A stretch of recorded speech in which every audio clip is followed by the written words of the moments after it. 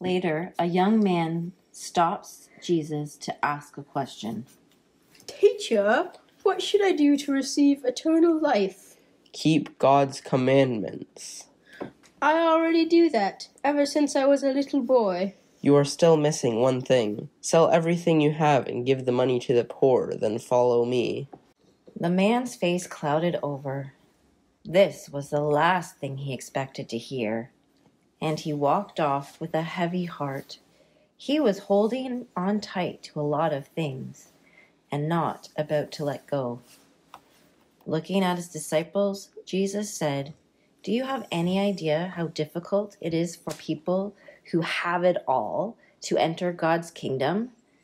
The disciples couldn't believe what they were hearing, but Jesus kept on. You can't imagine how difficult. I'd say it's easier for a camel to go through a needle's eye than for the rich to get into God's kingdom. How are we like the young man? His heart wasn't in it. The young man wanted his stuff more than Jesus. What do you want more than Jesus?